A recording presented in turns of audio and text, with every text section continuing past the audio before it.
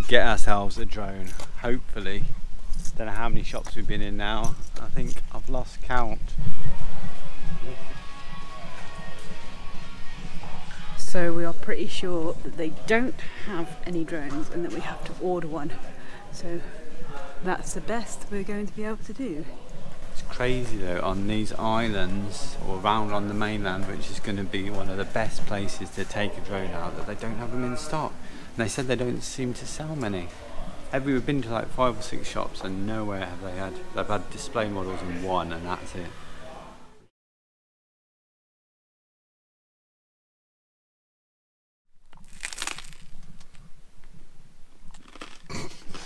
Oh, we start filming just as you had a mouthful. Right, sorry about that, but Nick decides to get the camera out just as I'm eating a big fat roll of peanut butter for my breakfast. Yes, we're going on a hike very soon because the weather has changed. We have some sunshine, we've got clear skies. So we haven't vlogged for a couple of days. It's been very miserable, very overcast, very low clouds, and we just haven't done anything. Well, she says we haven't done anything, but we have been busy editing, trying to catch up on our, vlogs, which we are doing now, nearly there. Um, but we are pretty much out of power. We were considering staying at a campsite, and if it gets back to being grey weather, we may have to bite the bullet and do that. It is crazy here. You don't actually get a weather forecast, or you do, but you have to check it like daily. Yesterday we checked the weather. Today was supposed to be really miserable again. We wake up, we open the curtain. Oh, lovely surprise. Yeah, look at this beautiful blue sky day we've got today. What a difference a day makes. So it's literally changing every day. But that's a good thing, I suppose, because it's like you wake up in the morning, you don't know what's happening. You could be editing all day, or being miserable, or you could be going on a beautiful hike or going swimming in the lake. So, yes, we're making the most of the weather today. We're getting off on this hike after a secondary coffee.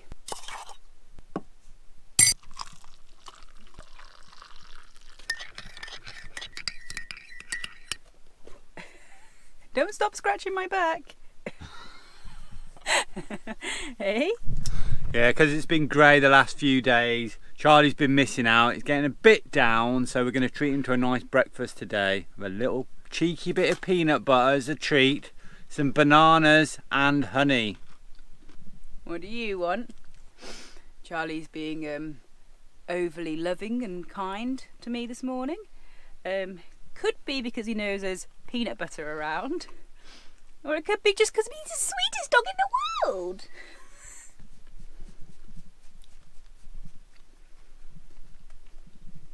So yeah, don't worry guys, we only give the dogs a very, very small amount of peanut butter and Charlie literally has like a teaspoon of honey per day and the same with banana.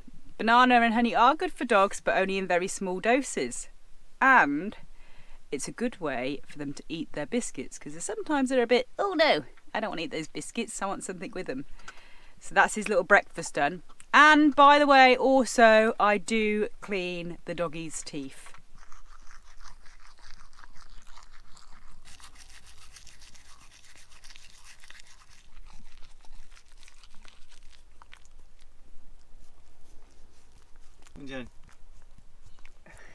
And don't worry guys, we'll also be cleaning the spoon. Talk about breakfast in bed. Honey on one side, peanut butter on the other. Thoroughly.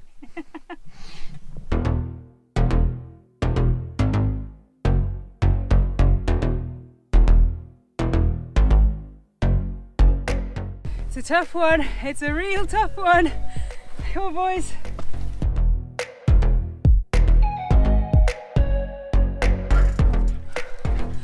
Boys make this look so easy, don't they? Go, go, go. Nearly there. See, a lot of these walks on Senja and here on the Lofoten Islands are really quite steep. But the good thing about that is it's not long before you just get epic views and then you have those views for the rest of the walk. I mean, check out that behind us.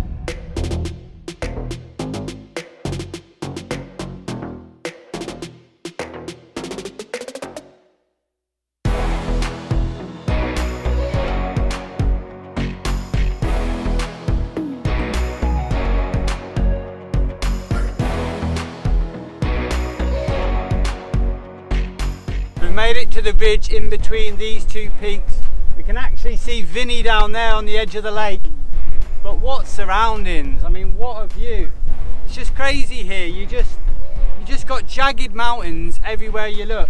Out to sea there's islands of jagged mountains, you can see across to the mainland, just full of jagged mountains. It's unbelievable.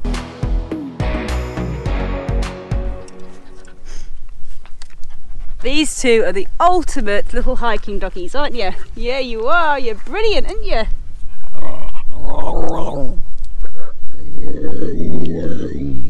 Lion King, eat your heart out. This is Charlie in his absolute element when we're doing hikes. You love it, don't you, little one? Hey, you love it. It's so excited. Yeah, you love it.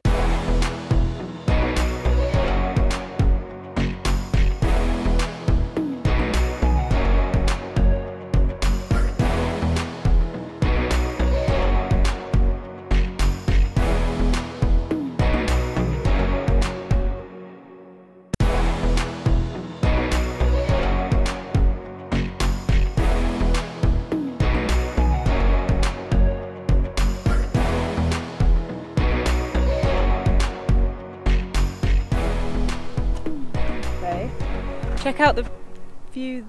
Where you gone? What are you doing up there?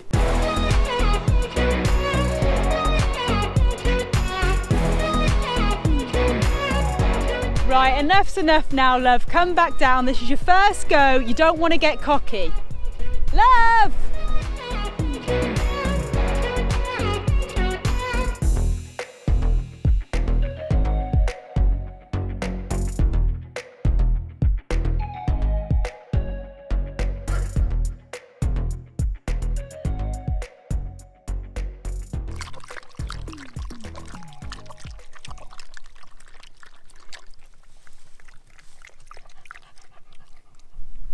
Babe, that was awesome. I can't believe the guy just let me have a go. Just get up here and he just lets me go out on his paragliding.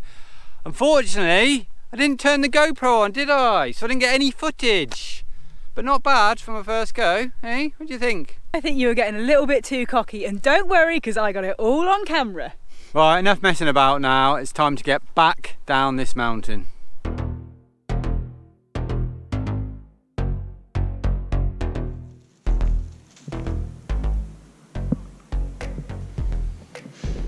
Free food on the way down. Um, we just seen a local eating these berries, so we asked him, and um, he said, "Yeah, of course he did because he was eating them." And yeah, they're really, really nice. Are they like mini blueberries? They are, aren't they? Yeah.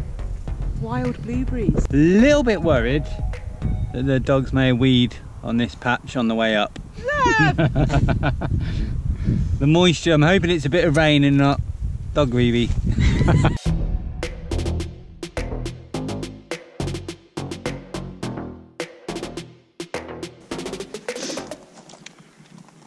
Just getting better and better this hike. We found more berries. This time, raspberries. Just growing here by the side of the, the, the footpath, the, the walk. Oh, so good, so sweet. Mm. This is the third wild berry that we've picked in Norway so far, different ones. So, yes, very happy.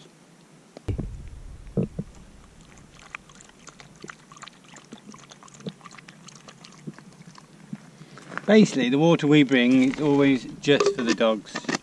We sacrifice our own needs for them.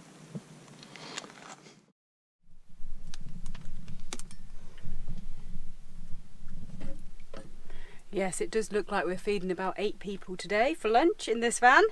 But um, yeah, when I'm doing like a like a chili or a bolognese or anything like that, it's good to do a big pot. Last trip we only had this size pot, the smaller one. And now we've bought one this size. It's big enough to do, you know, two days meals in it. And as it's really cold at night, you wouldn't think so because it's absolutely boiling today. As it's really cold at night, we can keep that and it'll be absolutely fine for tomorrow. So on today's menu, we have a nice lentil bolognese with lots of lentils, mushrooms, tomatoes, carrots, some bay leaves, garlic, onions, oh, all sorts going on in that pan. and lots of flavours. So I think after we've had our lunch and let our food settle in our bellies, I think we will be back on that sup board, or we'll definitely go for a swim at least.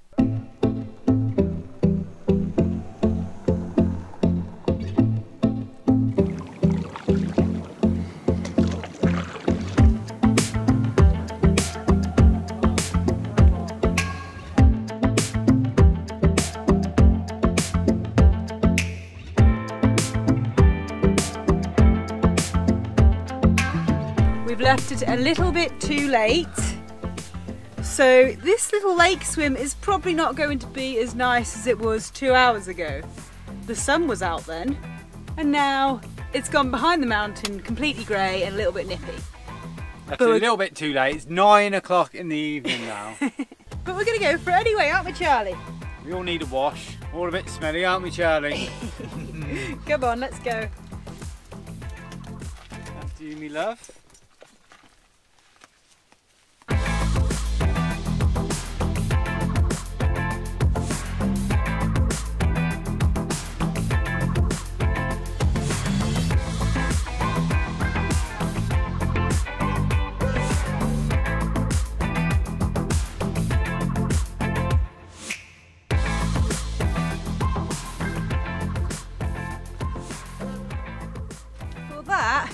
Was not bad at all.